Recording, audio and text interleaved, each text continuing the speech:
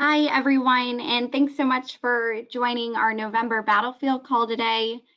Um, this, you know, we typically don't host battlefield calls in November, but we do have a couple of really important updates that we wanted to make sure we were sharing with you all. Um, so this will be a shorter call, but I hope you guys find it useful and informative today. So jumping right into it, uh, my name is Megan Shoemaker. I'm the channel development representative for our digital design team.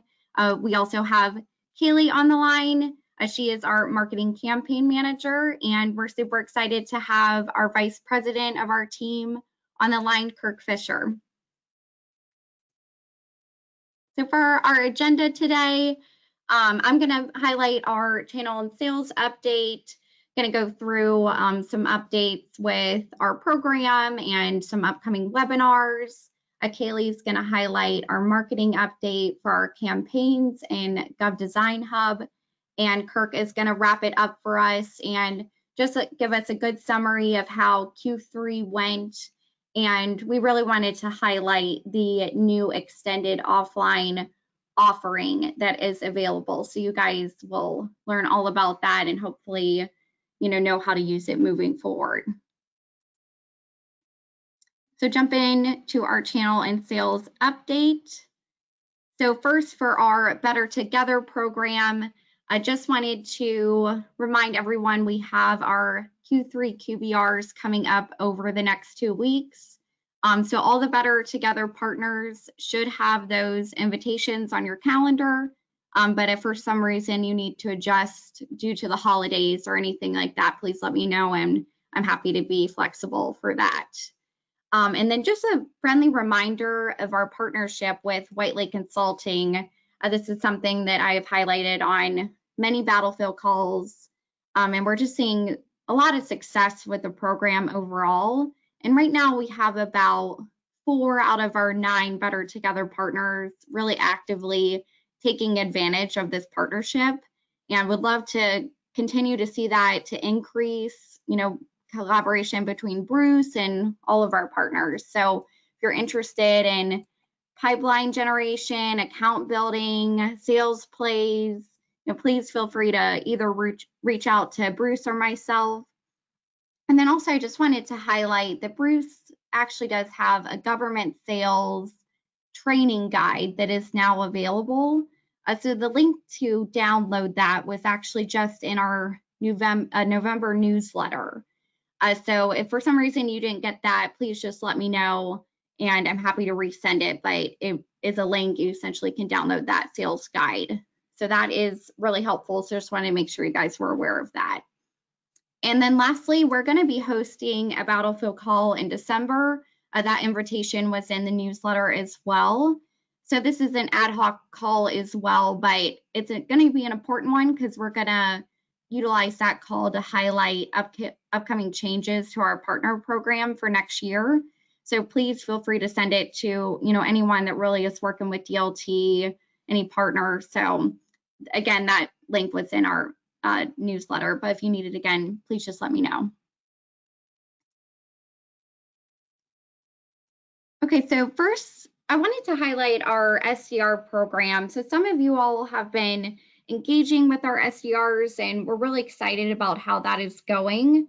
Um, but April did speak on our July battlefield call to kind of initially introduce that program to everyone.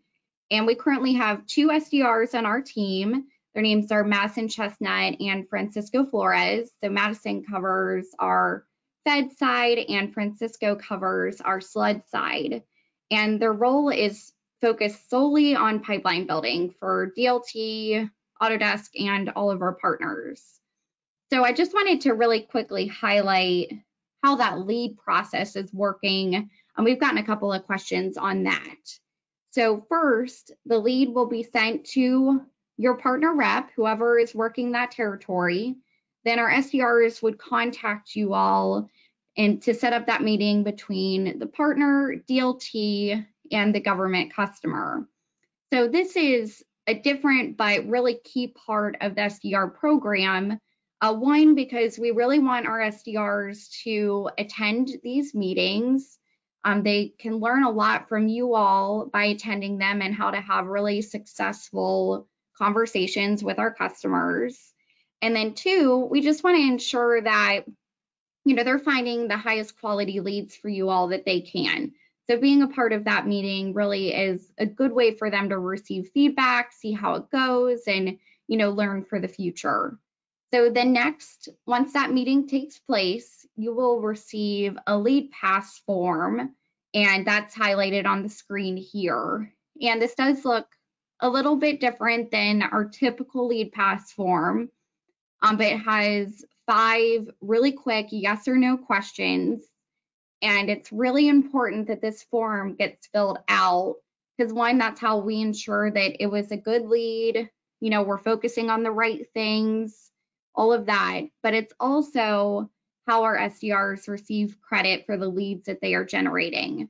So they are measured on these surveys. So obviously we want to make sure that they're getting their credit where it's due. So please, if you're working with them, please make sure you're filling that out. But we're really excited about how this program is going and how it's going to benefit you all and DLT and Autodesk. Um, but if you have any questions on it, please let uh, April or myself know. And then next, a couple of just quick DLT and Autodesk updates.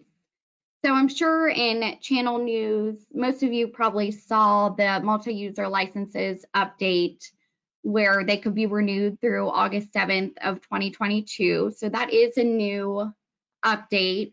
Um, but I just wanted to kind of highlight the section where it said there would be no changes to new or renewals for multi-users um, for customers with specific needs, which includes government. So that policy where we are able to sell them indefinitely, that has not changed. So that is still staying the same despite the, you know, the um, expiration they put of August 7th. So just wanted to update you guys on that. And then next, I'm sure some of you are aware of the cybersecurity maturity model certification um, which is a mouthful, but CMMC for short. Um, so this is a new accreditation process that is developed by the DoD. And then once it's implemented, all DoD contractors will eventually be required to obtain a CMMC certification. Um, so this could be a whiles away, but we want to make sure that all of our partners are aware and prepared for this change. Um, so we have a um, page on our website where all of our resources will be posted. So Don Maclean is our chief cybersecurity officer. Um, he has a lot of knowledge on this. So all the resources that he's putting out will be posted directly to that website. So it's good for you guys to just be aware of where all of that will be. And then when webinars and that kind of thing come up, I'll be make sure to send it to you as well. And then lastly, we have a new podcast called the Gov IT Podcast. Um, just wanted to highlight it. I think you guys will find it interesting. You know, if you're just looking for a podcast to be listening to in your spare time, kind of help your career. Um, but they actually did just put out an episode on the CMMC requirements. So thought that was really relevant and Don Maclean speaks on that, but there's many other episodes on there that I think you guys will find interesting and that we'll continue to post. And then just lastly for my section, I always highlight these. Um, we've had really good feedback from our partners on these webinars. Um, so our next market knowledge webinar is coming up on November the 16th. And this is going to highlight the NIH and the registration is in our newsletter, but if you need it, please let me know. Um, but this webinar is going to provide just a high level overview of their missions, goals, operating divisions, and budget. So those are really useful and there actually are recordings available in the newsletter as well if you're not able to make them. So want to make sure you guys were aware of that. And then that was all for my section. So I will pass it over to Kaylee. Thank you, Megan. Hi, everyone. Um, My name is Kaylee DeHaan. I'm the marketing campaign manager for the digital design team.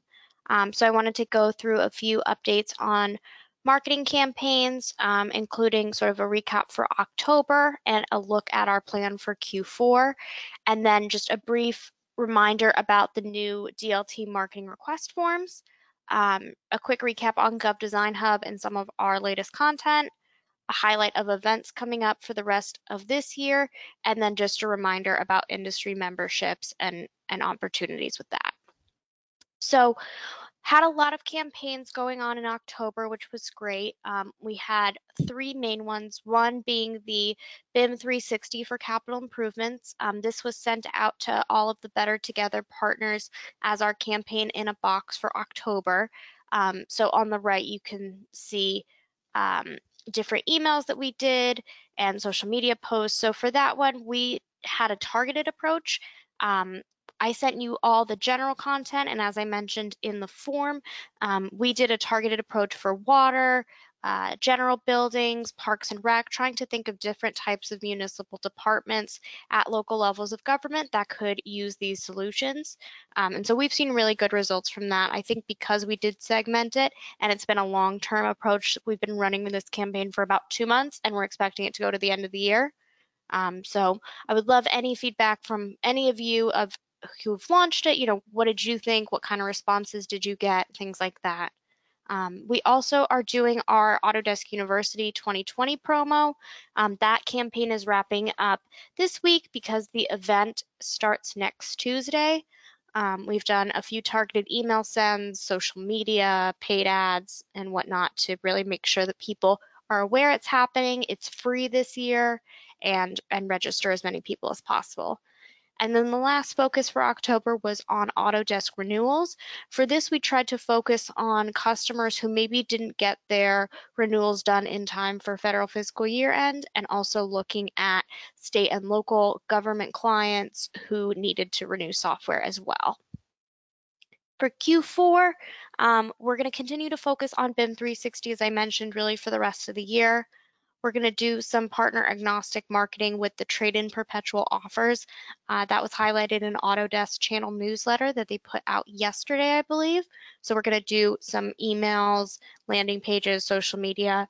Um, for anyone who does want to also do that, I believe all of the resources Autodesk has created is on the DAM. So I would definitely check that out. And then the last campaign we're thinking is going to be the DLT campaign in a box. Um, probably on the power of automation and probably focused on Dynamo and what that could add to Revit and helping people create more intelligent, efficient workflows. Just a quick reminder, um, this is the marketing campaign request form. So we developed this form really to help standardize all the requests coming in um, and to make it easier for all of you just to quickly check what type of marketing channels you were looking to push content out on. Um, so I'm pretty sure all of you have this form, but just wanted to go through a couple quick reminders. Um, if you guys have graphics that you can send over with your campaigns, that's great, and we'll take a look to see if make sure those are on brand. But if you don't have graphics or they're not on brand, we can always create graphics for you and then send them over for approval to make sure you're happy with it. Um, so just let us know if, if that's something you need support with. Um, one thing I did want to touch on is the um, under the email section where it says specifying your audience. So we have three options here. One is your current list of clients and this we will pull from our systems and smart of all the people you know the the wins that you have the opens that you have that are just partner specific we can also do um, potential new potential clients and this is um, really people we go through if you say, you know, I'm doing a campaign and I want to send it to um, SLED clients and I really want to focus on utilities. We can go into some of the third-party databases we subscribe to and pull people based on the, speci uh, the specifications you provide. So if you let us know, you know, whether it's Fed, SLED, or both, any targeted departments or agencies, and then if there's specific job titles you would like to look at, we can go ahead and pull that information from you. And then lastly is um, you saying, hey, I have this list that either I bought or people I've collected over time. and this is who I want to send it to. You can send us that as an Excel sheet as well. So those are your options when it comes for uh, email audience lists. And then one more reminder or announcement really is since this form was only developed about a month and a half ago, a lot of people have been using it and I'd really like to gauge sort of how useful it is, what we can improve on. So I'm going to be sending out a survey um, before the end of the year to all of you. I would really appreciate any feedback you have. At the end of the day, this is really meant to be a more streamlined approach for requesting information while still giving us and the rest of the marketing team all the information we need to launch the campaign successfully. So I would really love your feedback of how we can make it better, what's currently working, or any ideas that you have. On to Gov Design Hub. So this is just a reminder that we are adding new content weekly and we do have weekly editorial meetings just to make sure that we've always got things in the queue coming up. We're continuing to see strong growth month over month with over 1.5 uh, thousand users and about 90% of those being new visitors every month. So we're constantly getting in front of new people. Um, and I wanted to thank all of you for constantly sending us new content to add. Um, a lot of people have been sending us webinars that they're hosting. Um, some people have been doing Q and A's or blogs. We've got a couple white papers. So I just wanted to say thank you to all of you who have been participating and adding new content. Um, if you have more ideas of things you'd like to talk about, you want to know if it's possible, or you have more resources, just um, let myself or Samantha Bloodgood know, and we can connect with you and find out what the resource is and when would be a good time to fit it into our editorial calendar. The last things I wanted to focus on before we get to um, industry memberships is the events. So Autodesk University, as I mentioned, is starting next week. I'm hoping at this point all of you have uh, registered for that. Um, it is free, so if you haven't, and you don't have to attend all the sessions, you can do like most virtual conferences now, where you just kind of go in and bookmark and say, you know, I'll watch this or I'll come back to it later. Um, so make sure you've registered if you haven't already. Um, like many of you, DLT is having a sponsorship. We've got a virtual booth as well, so please come by and say hi. Um, for this week, we also have Greenbuilds going on. We're not really doing a whole lot. We're really just attending, um, going to some keynotes, some sessions. Um, it is virtual, and uh, just trying to get an update on what's going on in the sustainable design industry, what's trending in terms of the push for net zero emissions and zero carbon facilities to make sure that we are aware of what's going on and how different digital design products can help reach those goals. And then lastly, just a reminder on industry memberships. So these are the four organizations we're a member of. And I wanted to let all of you know that as part of our Better Together program, um, you guys can take advantage of advertising opportunities on email or newsletters or on the website and different banner ads. So if you are interested in reaching any one of these groups and their main users, let me know. Um, we depending on the organization, might have discount pricing at our disposal because of our level of membership. So feel free to send me an email if you want to learn about any of these organizations. I've already met with a couple of you to discuss, but I just wanted to put that out as a reminder. Um, additionally, if you're a member of any of these organizations um, and want to talk about, you know, joint opportunities for, you know, hosting a session or sponsoring an event, let me know that as well. We're always looking to get more involved. And I think those were, were my main topics. Um, next up, I'm going to hand it over to Kirk Fisher, who's going to talk about uh, our Q3 and the new extended offline offering. Thank you, Kaylee. Good afternoon, everybody. Thanks, Megan, and thanks, Kaylee. Thank you, everybody, for attending, and thanks for giving me a few minutes here to do a kind of a, it's a bit more than Q3, sort of a year-to-date wrap-up through Q3 and then I'll address the new extended offline offering. First, I want to thank you for your partnership, your contributions to the business throughout the year and year to date. Go ahead, Megan, please. You know, it's been a very solid Q1, Q3 year to date, despite a challenging year over year compare and, of course, a, a global pandemic. Um, you know, paused and thought about what word I should use, solid, strong, fantastic, just okay. Uh, this is the word I decided on. You know, it's it's not necessarily a year to write home about. It's not maybe not one of those years, at least year to date, but you know, relative to what's going on in the rest of the world, I think relative to what's going on at Autodesk around the world and on, on the commercial side of the business, you know, it's a solid year so far. So thank you for your contributions to that business. You know, we're going to, well, so far through Q3, um, we've had, you know, a little bit of growth in Autodesk billings year over year. Uh, the same applies to annual contract value or ACV. Go ahead, Megan. Thank you. You know, as I said in the uh, the bullet above, despite a challenging year-over-year compare, so we had about 25 million dollars of non-repeatable three-year deals that we closed last year that you know we're not going to see this year. You guys are, are very familiar with this dilemma.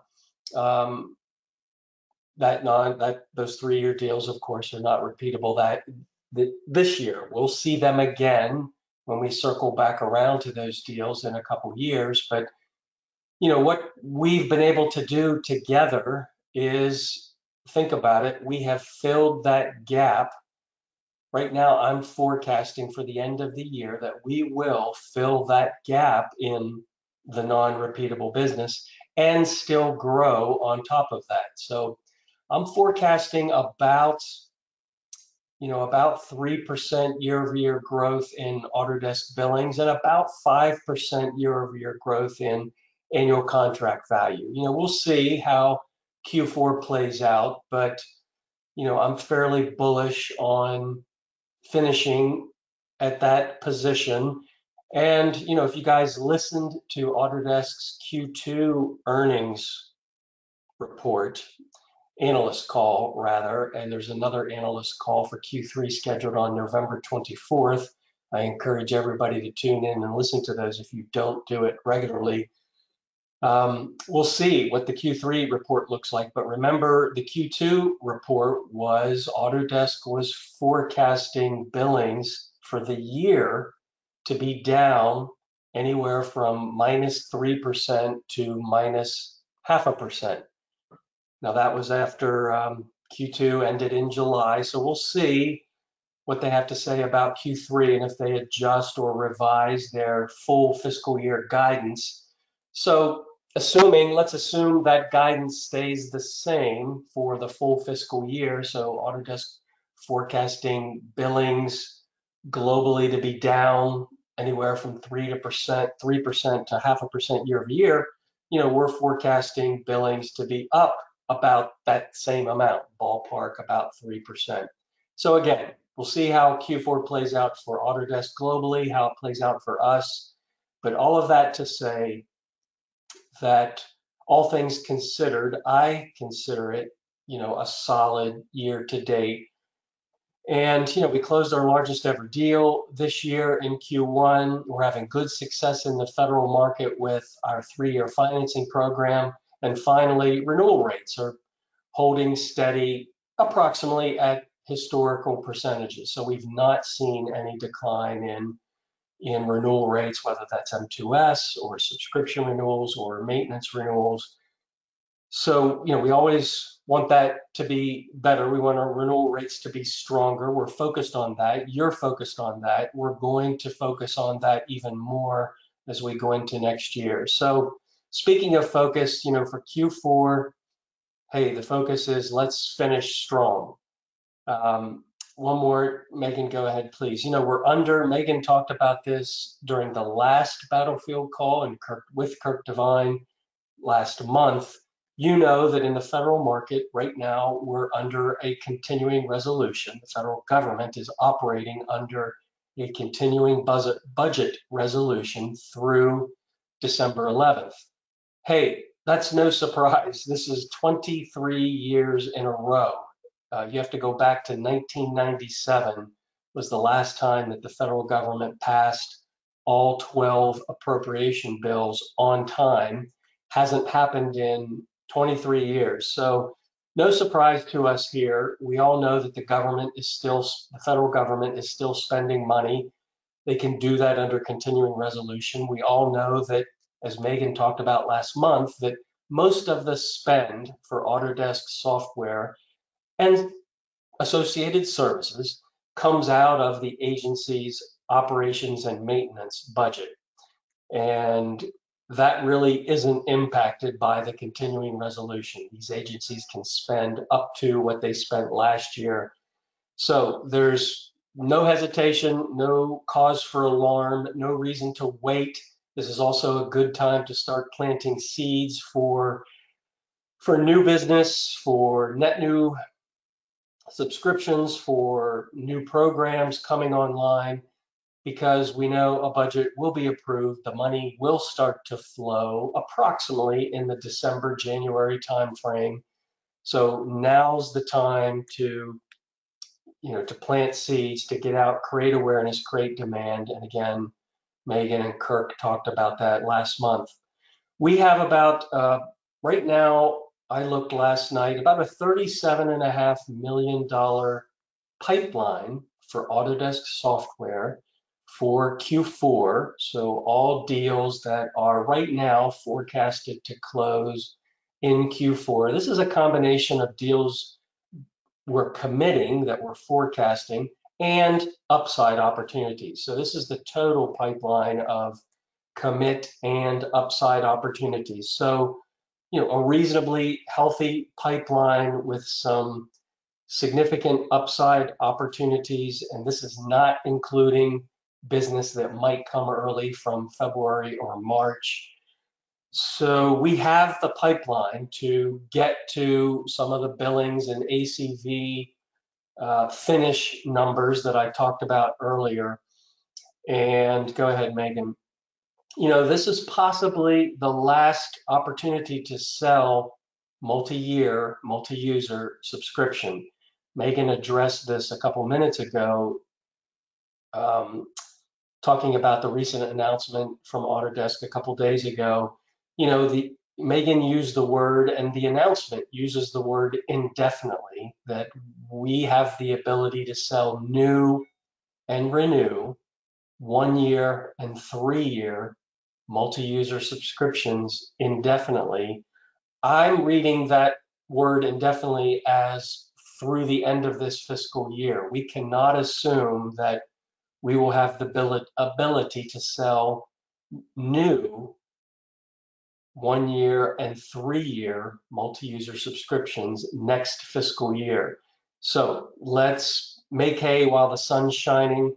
I do want to point out that John Benz is on the line with us. I have one more slide. I'm going to be addressing the extended offline subscription offering, and I'm going to give John a chance if he'd like to add any co color commentary to anything I've said, whether it's the topics on this slide or the extended off, offline offering on the next slide. My last bullet here, Megan, go ahead, is just let us know how we can help you maximize your results in Q4. We're in this together, uh, but the focus is absolutely, absolutely on finishing the year strong. Let's go to the next slide, Megan and go ahead and yeah, just this first click here. So let me run through this and then we'll stop and we'll see if John has anything to add in terms of color color commentary and then we'll we'll wrap up the call. So some of you may or may not know that a new offering is now available called extended offline subscription. It uh, we can sell it effective with the October 7th price list, so it's available today. Next, Megan, thank you. Here's what it is. It's a single user subscription. It's a standard single user subscription. Here's the difference between this offering and a standard single user subscription. This offering requires an internet connection only once during the subscription term. So whether that's a one-year term or a three-year term, depending on the subscription, This extended offline subscription only requires an internet connection once to authenticate the license. Once you sign in and authenticate the license, once you start the product for the first time, sign in, authenticate, the user can disconnect from the internet and not connect again through the remainder of the subscription term. You know, you should know that standard single user subscription has a 30 day offline limit. In other words, we, we all talk about the, the ping, the internet ping that standard single user subscription uh, does behind the scenes. And we all know that it does that uh, approximately every 30 days. It communicates with Autodesk to revalidate the license and exchange some other information behind the scenes. Go ahead, Megan, please.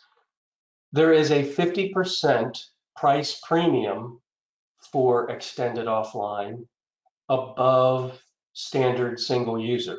So in other words, this offering sits exactly halfway between single user and multi-user subscription. There is flexibility with discounting if the customer balks at the price. And I'm, I'll, I'll address this better here, I think, in the next bullet or two. Uh, Megan, why don't you go on and I'll, I'll kind of touch on this discounting topic again. And, and here's really the, the key takeaway for you is that we want to test this offering in the market.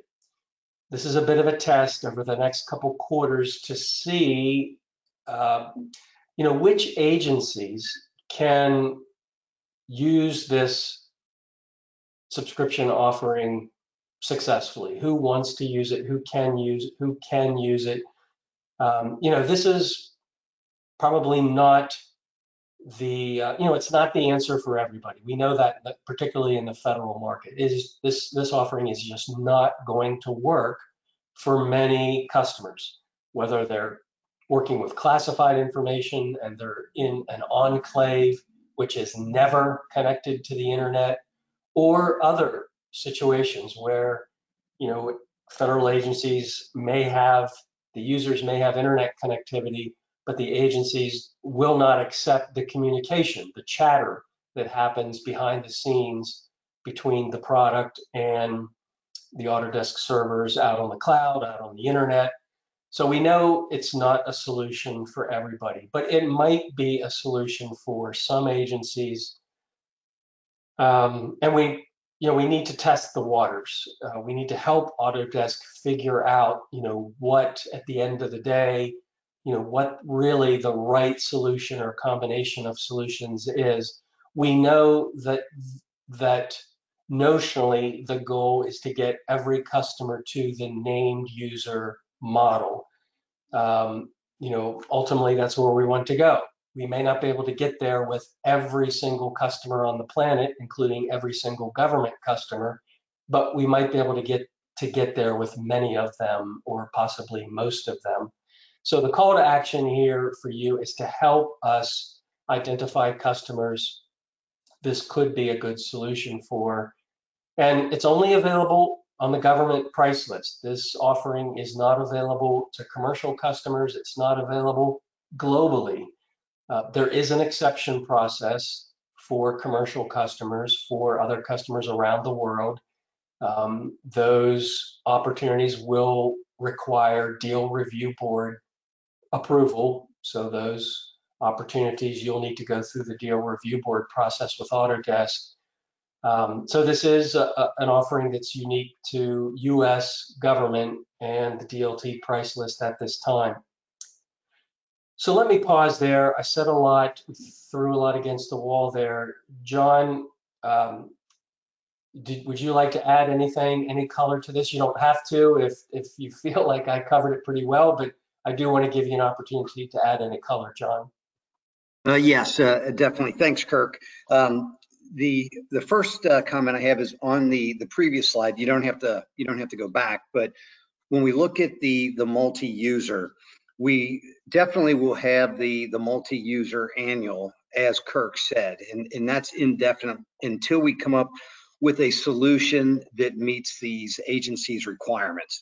Uh, the Kirk had mentioned that this is not uh, the single user extended offline offering isn't going to work for everybody, but it is the first step to determine how many of these agencies can use it as we build out a solution to eventually replace the multi-user. But right now, multi-user is available indefinitely. and annual multi-user is available indefinitely until we come up with an, an alternative solution. I would also say that while the multi-user, multi-year has said to be discontinued, we are working on getting approvals to be able to sell multi uh, three-year multi-user next year. Uh, we are working on that, but at the same time, I would perceive that we don't have that authorization yet, so that if anybody does have um, multi uh, multi-year multi-user uh, potential, make sure you get it in this year because there's no guarantee that we will have that moving forward. In re in regards to the extended offline subscription, uh, just to add some additional color where this might work, if you have um, an agency or individuals that were potentially deployed overseas and they can connect once to the internet, they're going to be out in the field for a year, two years, three years, whatever that, that term is. At that point, this offering may work uh, extremely well for them. They can connect once, load it on, and, and then it uh, would be active um, for the time that they're in the field. Um, where it won't work is if they cannot currently use single user and they're connected to the internet, this offering probably will not work uh, because even though it's not pinging the server for a license key every 30 days, it still pings the server for with PII and other data packets. Uh, and that is probably more important to many of these agencies than the license ping. Uh, but as Kirk said, we want to try and test this out to see where this will work, if it, it's going to work in some of the state and local agencies, um, as well as you know any of the the federal agencies that don't have the higher level security offerings. And I'll, I'll, reiterate what Kirk had said is that if you have some potential agencies that you think that this could be a fit, please bring those forward so that we can look at those and get some licenses in there so that they can test them on their network. And we can get Greg like Nice and um, you know other uh, technical resources involved in that to help address any questions that would occur.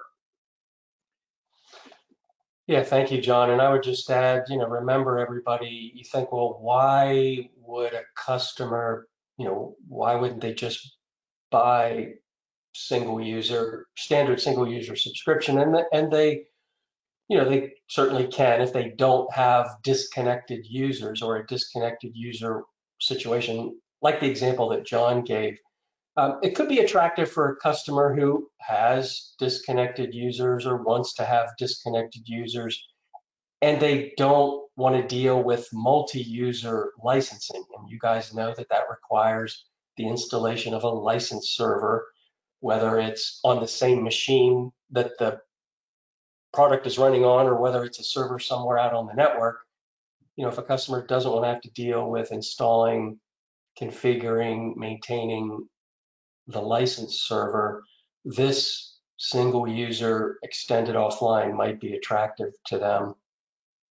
And the last thing I'll say is just to, is I think you've heard it in our voice here and, and in the comments we've made, but just be cautious with this offering. Um, bring potential opportunities forward to the team, to, to John, to me, to Kirk Devine's team, to the DLT reps. Let's talk about these together. You know, we don't expect that we're going to have a lot of these, uh, at least early on. So let's talk about them together before you get too far along in a conversation with a customer, because we do want to be careful with setting the proper expectations. as John indicated, you know, there's still some chatter behind the scenes uh, with this with this offering. Um, we just need to be careful with with setting expectations. So I, I won't belabor the point. Let's talk about them and bring them forward if you if you have some ideas there. Thank you, John, for for all of those comments. John, that those were also helpful comments on the multi-year, multi-user situation. So the the news to everybody there is stay tuned as John and Kirk Devine and the team work to explore the possibility of getting approvals for all of us to be able to continue to sell the multi-user, multi-year offering next year. We'll see how that plays out. But again, let's uh, focus on Q4, finishing strong and uh, setting winning conditions for next year as we work throughout the quarter. Thank you for listening. Megan, I'm going to flip it back to you for closing remarks. Yeah, sounds good. Cool. Well, thank you to Kirk and John and Kaylee for joining us. Um, this had a ton of information. Um, I will be sending out a recording of this. So you're able to watch it back, send it to any of your teammates that may not have been able to join. But my contact information is on the screen. Please let me know if you guys have any questions or if there's anything we can help you with. Other than that, um, thanks for joining us today. Hope you guys have a good Thanksgiving and we will see you next time.